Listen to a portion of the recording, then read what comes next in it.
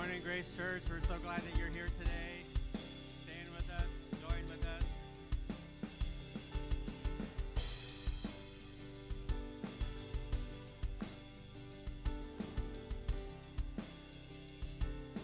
The house of the Lord, here we go.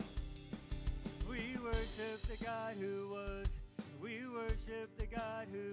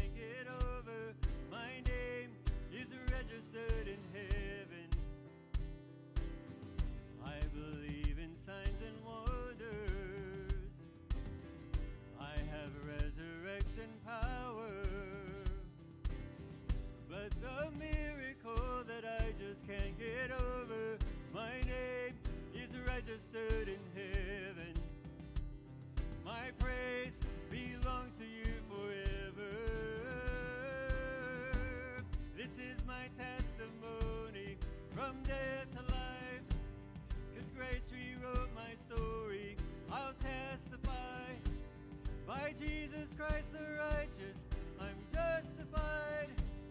This is my testimony. This is my testimony.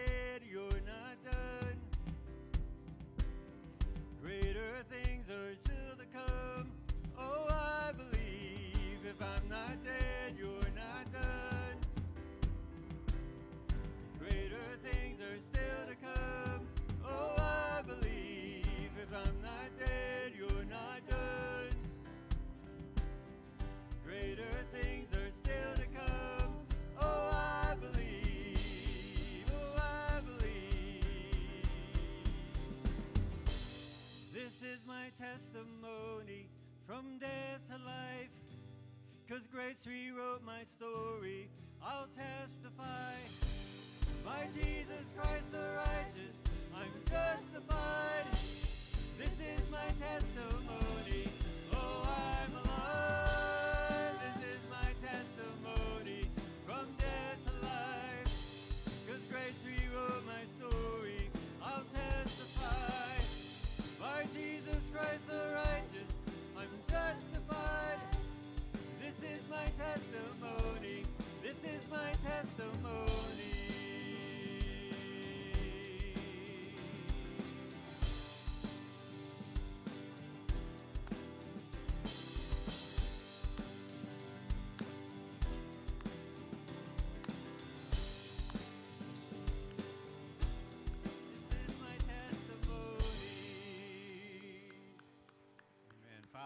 we thank you for loving us. We thank you for saving us. May you receive our praise from children who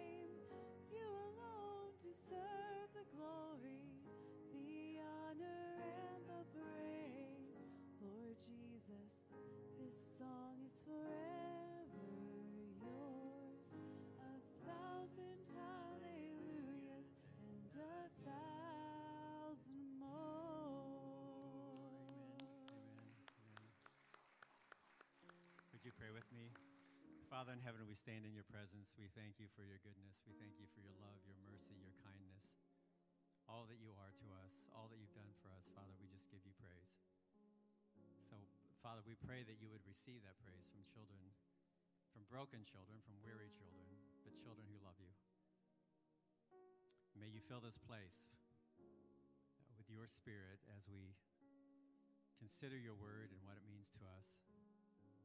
Uh, that you would bless us the study of your word, that we might honor you in the lives that we live because of your word. So, Father, in these moments, receive it. May we receive blessing from you as well. In Jesus' name, amen. You may be seated. Well, welcome to Grace Church. We're really glad that you're here. Uh, just a couple of announcements before we move on. First of all, uh, we are launching our new series today, Future Family. And as an addendum to that, uh, we have an intentional parenting class for the next five Wednesdays. Uh, so uh, this coming Wednesday is the first class. If you've not registered for that, you can do that on our website, or you can just go to the Orange Balloons today in the Commons area, and they will sign you up uh, for that. Childcare is provided. There is a cost for the materials, uh, so keep that in mind. Um, also, if you are new or newish to Grace Church, we have an opportunity called Step In. Uh, and that is a class uh, prepared for you to answer any questions that you might have about grace, who we are, what we do, and why we do it that way.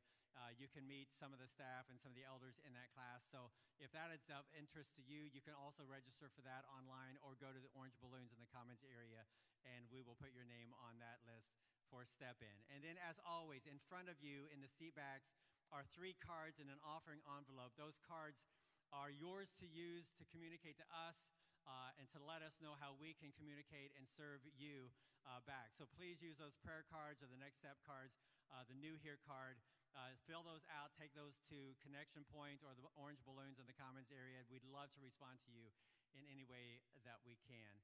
And so um, there's an off, also a giving envelope in the backs, uh, in the seat backs too, so you can use that uh, as well. So, as I said, we're launching into this new series uh, today, Future Family. John uh, Becker is coming to share with us today. So, would you welcome John to the stage? I wish I could get my students to clap for me when I walk into class. Good morning, everybody. Right before the end of uh, 2023, uh, my friend Dave contacted me about a Bible plan that he had found in the YouVersion of the Bible app it's a plan to read through the entire Bible in chronological order in one year. It's called the Bible Recap. I know some of you are familiar with it, some of you are actually going through that yourselves. Dave asked me and my wife Kate if we would like to do that Bible recap study plan with him and his wife Rachel. And so the four of us who have been really good friends for 30 plus years, we decided that this was a great way to not only study the Bible, but to hold one another accountable and also have spiritual fellowship together. So we agreed to do that. So I just finished the book of Ruth, which is really interesting book. But after the book of Genesis starts on January 1st, the book of Genesis, the next few books can be a little challenging in the Old Testament. First of all, the timeline for the book of Job actually occurs right in the middle of Genesis which a lot of people didn't realize. So after Genesis 11, we shift gears to the story of Job, which is over 40 chapters long, very long book. And then we return to finish Genesis, and then we dive into Exodus, Leviticus, Numbers, and Deuteronomy. And what struck me about these five books of what we call the Pentateuch is how repetitive they are. And I don't say that in a negative way, but they are very repetitive. Of course, in Exodus, um, it tells how Moses led the Israelites out of Egypt. Leviticus lays down God's laws for the Israelites. And the book of Numbers, among other things, details the multiple censuses that were taken for the number of people in the Israelite tribes. So, as I said, there's a lot of stuff interspersed in this repetition that God has told Moses that he is to relate to the Israelites. And there's a lot of repetition. For example, did you know that the uh, Ten Commandments actually occur three times in the Old Testament? Some people don't know that. It's in Exodus 20, Exodus 34, and then again in Deuteronomy 5. And as I was reading this, it didn't fully hit me why there was so much repetition, why Moses kept saying the same things over and over and over again, until we got to Deuteronomy 6, which is our passage for today. I'd like to ask you if you would stand with me as I read Deuteronomy 6, verses 1 through 9. And I want you to remember this is Moses speaking to the Israelites, telling them the word that God has given him. It says, Now, this is the commandment, the statutes and the rules that the Lord your God commanded me to teach you, that you may do them in the land to which you are going over to possess it, the promised land, that you may fear the Lord your God, you and your son and your son's son, by keeping all his statutes and his commandments, which I command you all the days of your life, and that your days may be long. Hear therefore, O Israel, and be careful to do them that it may go well with you, and that you may multiply greatly as the Lord, the God of your fathers, has promised you in a land flowing with milk and honey. Hear, O Israel, the Lord our God, the Lord is one. You shall love the Lord your God with all your heart, and with all your soul, and with all your might. And these words that I command you today shall be on your heart. You shall teach them diligently to your children, and shall talk of them when you sit in your house and when you walk by the way, and when you lie down, and when you rise. You shall bind them as a sign on your hand, and they shall be as frontlets between your eyes. You shall write them on the doorposts of your house and on your gates. May the Lord bless the reading of his word. Thank you. You may be seated. So, as Tim said, today we're beginning this four week series on families, and I know that there are some people who may think this series doesn't apply to them because they don't have kids or their kids are grown and out of the house. But nearly all of us have kids in our lives somewhere, whether they're your own kids, their nieces, nephews, grandchildren. Maybe they're just the kids in the neighborhood that you care about. And all of them need to know Jesus. So I hope you're going to find value over the next four weeks in the message that I share today and that Tyler, Tim, and James are going to share with you over the next three weeks. So, do you remember when you were a kid and your parents told you to clean your room? Remember that? And then a week later, they told you to clean your room. And then a week later, they told you to clean your room, and so on, and so on, and so on. Some of you parents in here, I can see the smiles on your face. You're still dealing with that right now. Some of your parents are looking at your kids. I'm catching it out of the side of the corner of my eyes. In fact, did you ever did your parents ever tell you to do something one time and then never, never have to tell you to do it again? That's pretty doubtful, and here's why. The things that are important to our parents weren't necessarily as important to us as kids. So as time goes by, if they fail to keep the task in front of us, if our parents fail to remind us, we begin to forget, or we decide not to do it, or we choose to do something else. And we see this pattern where Moses repeatedly instructs the Israelites about God's instructions. It happens with regularity in the Old Testament. So I'm going to give a little history lesson. I know, I know I'm a math teacher. The math lesson's coming later. But right now we're going to do a short history lesson from those first five books of the Bible that demonstrates why Moses repeats himself so often. Of course, his task is to, to uh, keep these instructions, which are the commandments of the Lord, in front of the Israelites. But like children, it takes very little time before the Israelites either forget or ignore these commandments and start doing their own thing. We see this in Exodus 32. This is where Moses goes up on Mount Sinai to meet with God and receive the Ten Commandments. He was gone for 40 days and nights. 40 days and nights.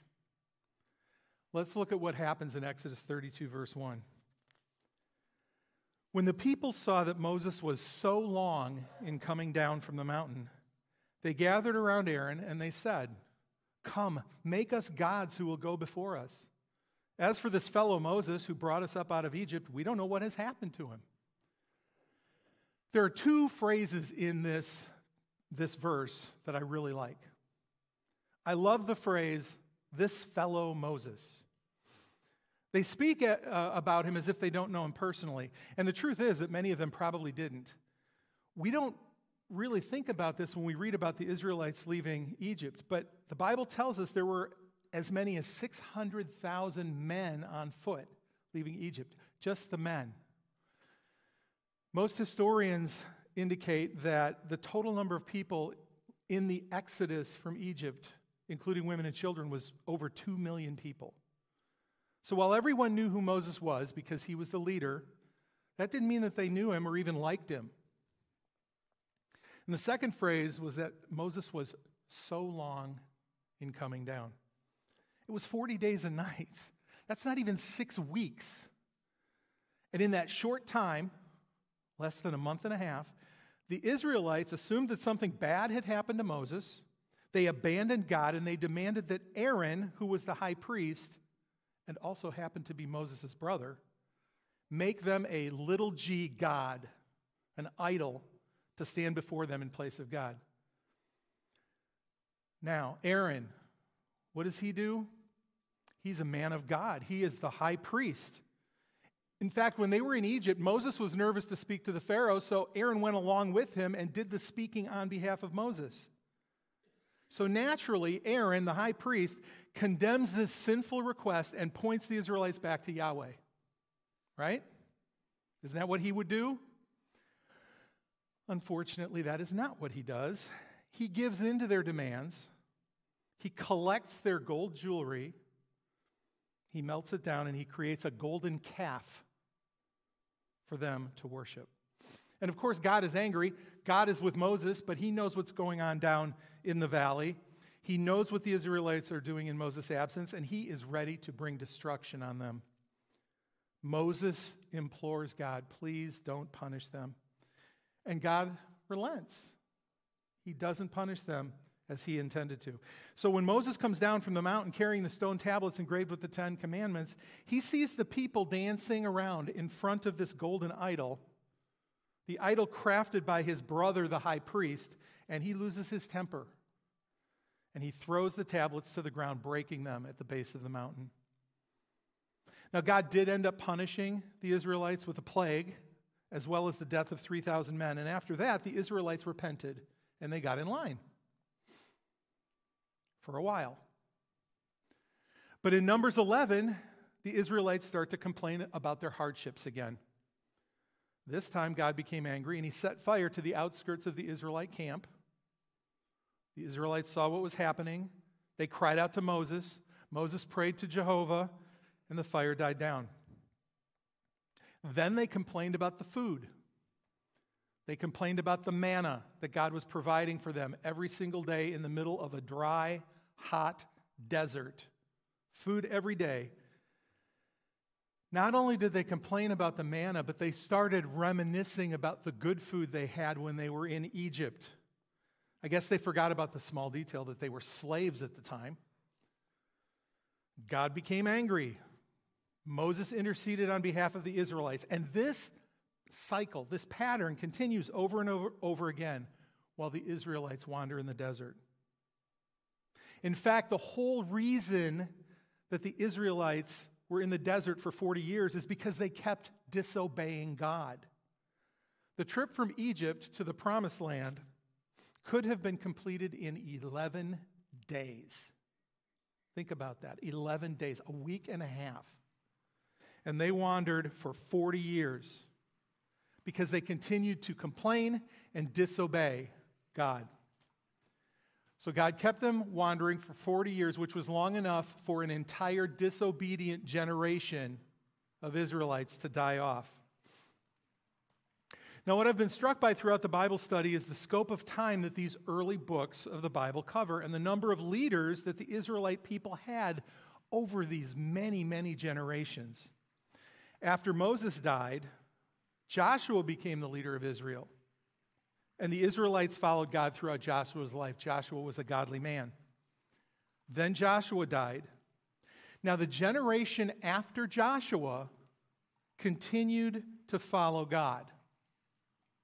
But in Judges 2, starting in verse 10, we read the following And all that generation, the generation after Joshua that was following God, all that generation also were gathered to their fathers. That means that they died. And there arose another generation after them who did not know the Lord or the work that he had done for Israel. And the people of Israel did what was evil in the sight of the Lord and served the Baals, who were false gods. And they abandoned the Lord, the God of their fathers, who had brought them out of the land of Egypt. They went after other gods from among the gods of the people who were around them and bowed down to them, and they provoked the Lord to anger. Now, the people surrounding the Israelites, who were these people? Uh, some of them were the Philistines. We see the Philistines later with uh, David and Goliath. Uh, the Canaanites, the Ammonites, the Jebusites, among others. And what often happened was that, contrary to God's specific instruction, the Israelites would intermarry with people from these other lands, these other non Israelite people. And when they intermar- intermarried with them, they embraced their false gods and their false traditions, and uh, they forgot about the one true God. So you can probably imagine what happens over the next several generations. God punishes the people for disobeying him and worshiping other gods. The people repent. And finally, God raises up a series of judges to lead them. And these judges were not like courtroom judges, they were more like military leaders uh, people who were charged with leading the Israelite, Israelite army. So in verse 16 of Judges 2, it tells us Then the Lord raised up judges who saved them out of the hand of those who plundered them. Yet they did not listen to their judges, for they whored after other gods and bowed down to them. They soon turned aside from the way in which their fathers had walked, who had obeyed the commandments of the Lord, and they did not do so. Whenever the Lord raised up judges for them, the Lord was with the judge, and he saved them from the hand of their enemies all the days of the judge. For the Lord was moved to pity by their groaning because of those who afflicted and oppressed them. But whenever the judge died, they turned back and were more corrupt than their fathers, going after other gods, serving them and bowing down to them. They did not drop any of their practices or their stubborn ways. This pattern continues generation after generation. And it seems like no one takes time to look back at their own history to see why things keep shifting from good to bad to good to bad. That's the end of the history lesson. And by now, I'm sure some of you are asking, well, how does this help us launch a series on the family?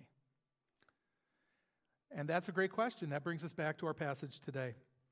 Looking back at Deuteronomy 6, verses 4 through 7, it says, Hear, O Israel, the Lord our God, the Lord is one. You shall uh, love the Lord your God with all your heart and with all your soul and with all your might. And these words that I command you today shall be on your heart. You shall teach them diligently to your children and shall talk of them when you sit in your house and when you walk by the way and when you lie down and when you rise. Why am I reading this passage to you again? For the same reason that Moses repeated God's instruction to the Israelites we need repetition. Remember, this is God telling Moses what he is to relate to the Israelite people. And verse 7 says to teach his commands diligently to your children. That means to make sure you're doing it well. And he tells them to teach the children when you're sitting at home, when you are out walking around, when you're going to bed, and when you're getting up. And to me, that sounds like pretty much all the time. We're supposed to be teaching our children about God all the time in everything that we do. As I said, the history lesson is over, but most of you know that I am a math professor. And so yesterday at Cup of Joy, someone found out I was preaching today. And the first words out of their mouth were, What's going to be the math lesson? I seem to be earning a reputation, and I don't want to let anybody down, so here come the numbers. From an article called What is Going On with Families in America, I want to share the following data. In 1937, the Gallup organization, which is an organization that does surveys, they do polls. We're probably very familiar with the Gallup polls for political um, office and things like that. In 1937, Gallup conducted a survey of how many people in America belonged to some type of re- religious institution, whether it was a church or a mosque or a synagogue. And at that time, 1937, 73% of the people indicated some type of religious affiliation. And in the 63 years between 1937 and 2000, those numbers hardly moved. They kind of leveled out at 70% in the year 2000. In 2021, just three years ago, Gallup did another survey asking the exact same question. And the number of Americans who belong to some form of religious organization or institution dropped from 70% to 47%.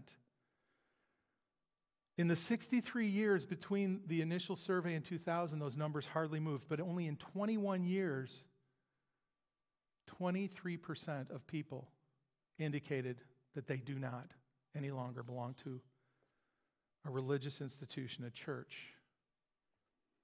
These numbers indicate a mass exodus away from all religious institutions, especially churches, and no single religious affiliation is exempt from this phenomenon. And this is interesting. Those numbers include people who belong to cults, people who worship false religions, people who uh, believe in Eastern philosophies. Our world, our America as a whole, is declining in its religious participation. But at the same time that people are leaving the church in these high numbers, nine in 10 people would tell you nine in 10 people in America would tell you that they believe in God. 90% would say, Yes, I believe in God. Of course, the question then is, What God do you believe in? As followers of Jesus Christ, when we ask someone if they believe in God, our natural thinking is that we are asking about Jehovah, the God who created all things, the God who sent his son, Jesus Christ, to die on our behalf. When we ask that question, that's what's in our mind. But that isn't necessarily what the person hears who you ask the question to. So if they answer yes, you might walk away going, Oh, thank goodness they believe in God, and not realize that they might be speaking about an entirely different God than the one true God. In fact, you'd be right to be skeptical of the form of God that America believes in nowadays just by taking a look at what's going on in society. Belief in God, little g God, is all over the place, and it's not controversial to believe in God. In fact, it's well accepted. But what is controversial for many people is to believe that Jesus Christ is God incarnate, the God who became man and walked among humanity for 33 years. That's controversial to many people. And depending on your data source, somewhere between 60 to 80% of young people who were raised in a church going family are leaving the church as soon as they can. And many of those people refer to themselves as ex-evangelicals. Ex-evangelicals. You can see that word up there on the screen. Maybe you've heard this term. The Wikipedia definition of ex-evangelicalism is this. It's a social movement of people who have left evangelicalism, especially white evangelical churches in the United, in the United States, for atheism, agnosticism, progressive Christianity, or any other religious belief or lack thereof. And I know there might be some people here who are unfamiliar with the term evangelical. So let me give you a little bit of understanding of what the word evangelical means. Grace Church is an evangelical church. That means that we believe Jesus Christ is the Son of God. He was born of a virgin. He came to earth to die for our sins. He rose again after his death and ascended to heaven. He is Jesus Christ, God, and the Holy Spirit form the Trinity. That's what an evangelical church is. People who call themselves evangelicals either believe in, believed in Christ at one time and have left the faith, or they may have never truly believed in God in the first place, and they left as soon as they could. I'm willing to bet that everyone in this room might know someone who has either walked away from their faith or never truly believed in Christ in the first place. And it's really hard when those people are your family members, whether they're your children or your brothers and sisters or your parents, maybe they're close friends. It hurts. Our heart aches over the fact that they're lost. And this number of people who continue to walk away from the church is increasing. It's not a new phenomenon either. The word evangelical might be a new term to you, but Jesus told a parable in Luke 15 that framed evangelicalism quite well. We know it as the parable of the prodigal son. So, what is it then that's causing the numbers of young people that are walking away from the church to increase? What's causing it? Well, I did a lot of reading and research, and I could actually spend quite a few hours sharing that information from various articles and research studies that you don't want to hear. And I'm not going to bore you with all of that, but I'm going to boil it down to one main thing that we can point to. According to the article I cited a little bit earlier, the author, David Nunnery, says genuine faith in Christ is passed through family homes, from parent to children, more so than through churches and institutions. In other words, children leave the church because the church has no meaning to them. So, the spiritual instruction of our children isn't something we can hand off to the Sunday school teacher on Sunday, or the youth leader, or even the pastor. It is the parents. We are the ones who must take the active lead in our homes to teach our children to love Jesus. I want to share a graphic from a study by the American Enterprise Institution. This is a secular research group. If you have the uh, uh, program sheet when you walked in, you'll see this image there. And I'm going to put on my professor hat a little bit, and I'm going to pull up my laser pointer. I'm very excited to do this. And I want us to look at this. Yeah, I got a laser pointer. I ordered it especially for this sermon. People are, people are riding me so hard about being a professor, I decided I'm going to go all in hence the professor jacket and everything. This is a uh, study on the decline of religion in American family life. Young adults participated less often in religious activities growing up. So, what we see here in this first column, this first group right here, is these are people that attended religious services with their families. And the, the far right hand column is people who are over the age of 65. Okay, people over the age of 65. And you can see that people in this room right now, over the age of 65, 52% of them probably attended religious services, which might not sound like a lot, but when you look at what happens in the next group over, the next group is the people who are ages 50 to 64. And that would be my age range. It declines to 47%. Now, I want you to recognize that this is, the eight, this is broken out by ages, and they are declining as people get younger. What that means is that the generations are starting to walk away from the church. Does that make sense? Just like what we saw in the Bible. Just like what we saw with the Israelites. In the second column, these are uh, people who said grace or prayed with family at meals. I do think it's interesting that uh, the older folks were slightly less than the next group over, but still, the number of people who pray before meals is declining by generation, by the age. And in the final column, we see people who attended Sunday school or religious education programs like Vacation Bible School and things like that. People over the age of 60 were very likely, over 50% likely, to have attended some kind of Sunday school or religious education program. But as we look at the generations, that final column all the way to the left is people between the ages of 18 and 29. And we're seeing only 27% of those people attended some sort of religious education program or Sunday school. It's evident that these younger generations are not receiving the same religious instruction that older generations did. And like I said, this is what happened in the Bible. As the generations went on, they were not getting the instruction of the Lord. Some studies show that for a variety of reasons, Families are spending an average of only 45 minutes a day together. This is part of the reason that we're seeing less of an uh, instruction to the next generation. The amount of time we're spending with our kids is on the decline. And whether it's because of our busy schedules, shifting priorities, or our electronic devices, we don't make time for our kids like previous generations did. And I know that I've been guilty of this myself. In fact, a few years ago, one of my adult daughters told me that because I worked two jobs as a school teacher to make ends meet, I wasn't home enough when she was growing up.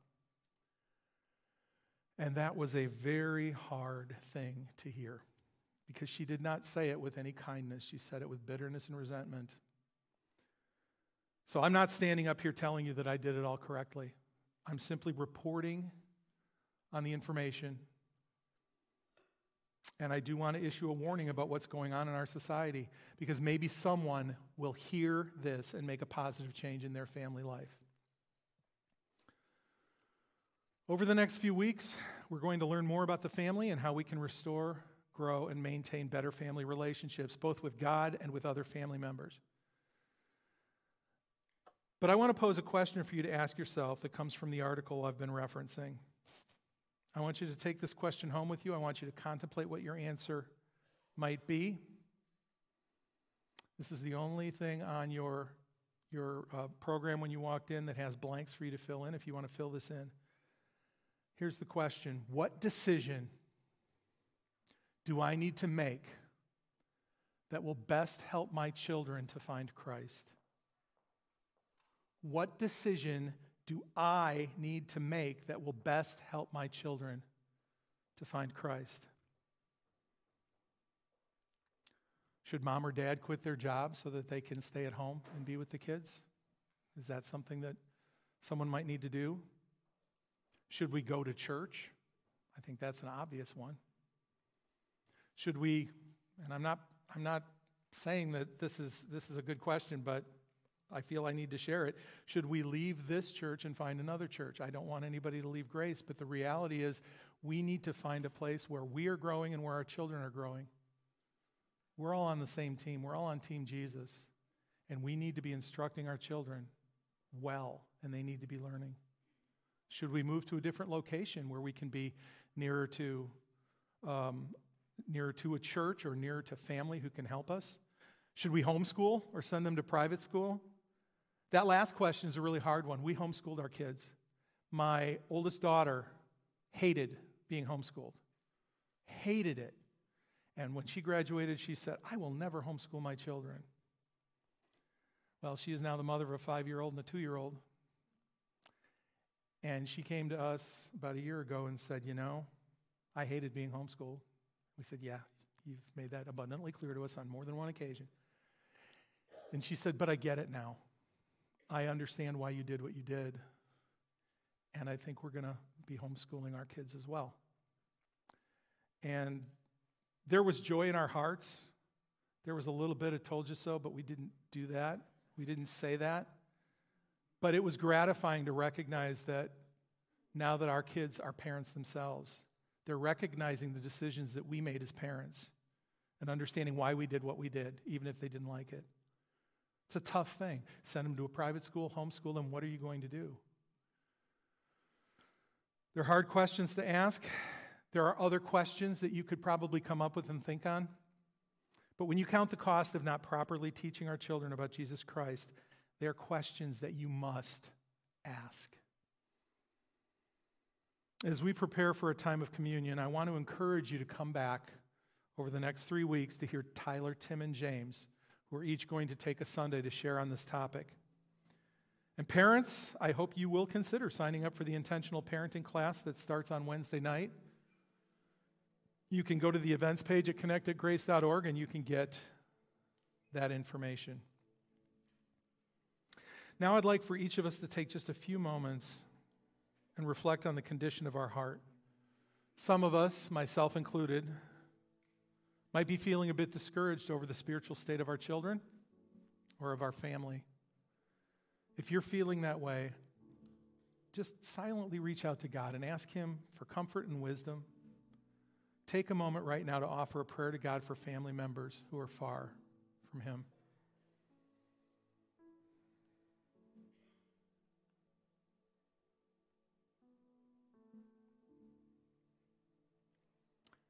In Psalm 139, King David wrote the following He said, Search me, O God, and know my heart.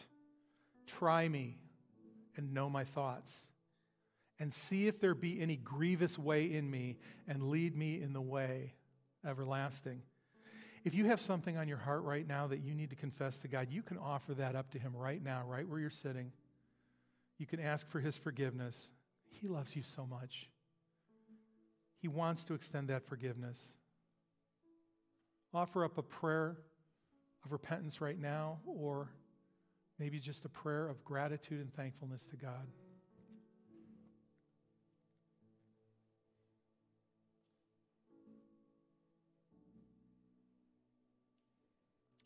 In 1 Corinthians 11, the Apostle Paul writes the following He says, For I received from the Lord what I also delivered to you that on the night the Lord, that the Lord Jesus, on the night when he was betrayed, he took the bread.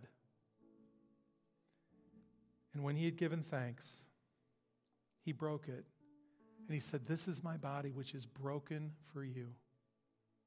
Do this in remembrance of me.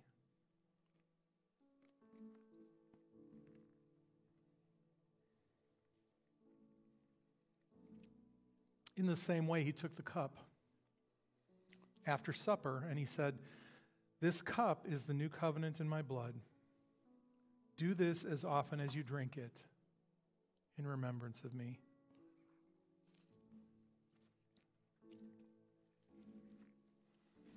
For as often as you eat this bread and drink the cup, you proclaim the Lord's death until he comes. Please pray with me. Gracious Heavenly Father, none of us are perfect, but we all desire for our children to know you.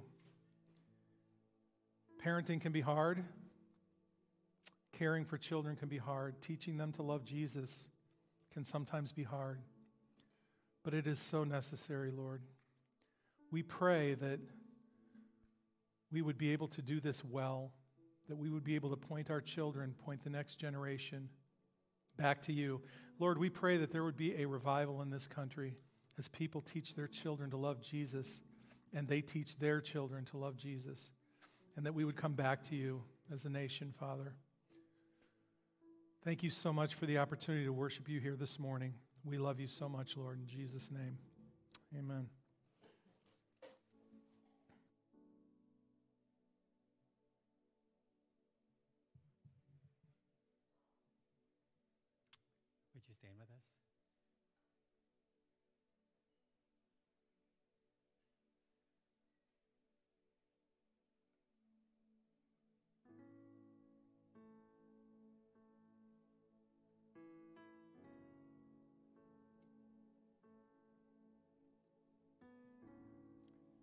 Is the man who makes the Lord his trust.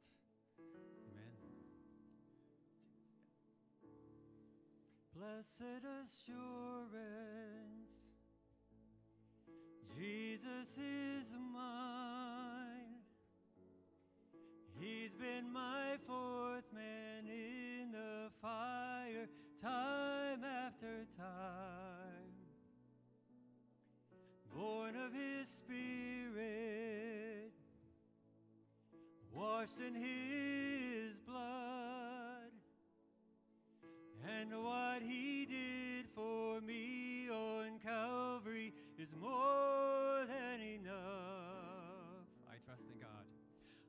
trust in God, my Savior, the one who will never fail. He will never fail. I trust in God, my Savior,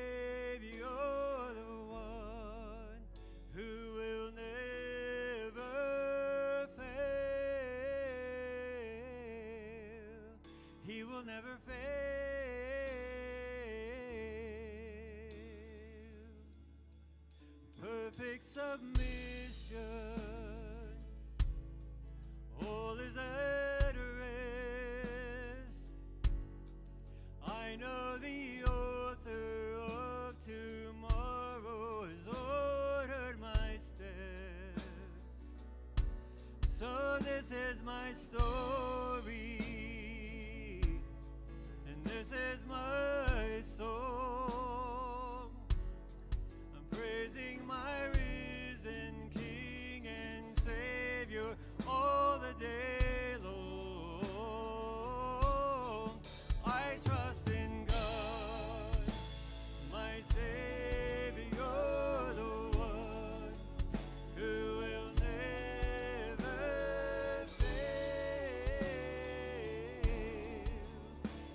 never fail. I trust in God, my Savior, the one who will never fail. He will never fail.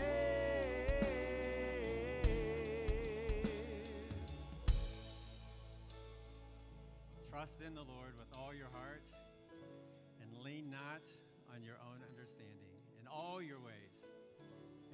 Him, and He will direct your paths.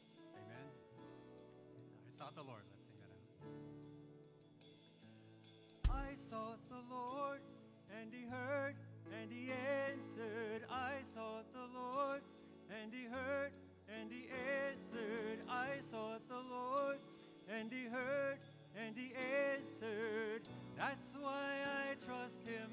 That's why I trust Him. I sought the Lord, and He heard, and He answered. I sought the Lord, and He heard, and He answered. I sought the Lord, and He heard, and He answered. That's why I trust Him. That's why I trust Him. I sought the Lord, and He heard, and He answered. I sought the Lord, and He heard, and He answered. I sought the Lord, and He heard, and He answered.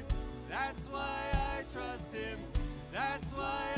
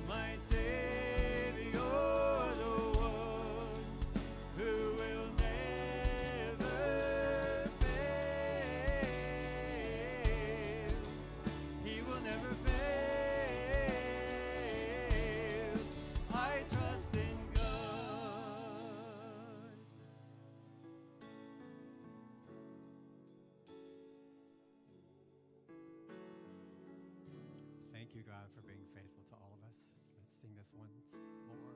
I trust in God. I trust in God, my Savior, the one who will never fail. He will never fail.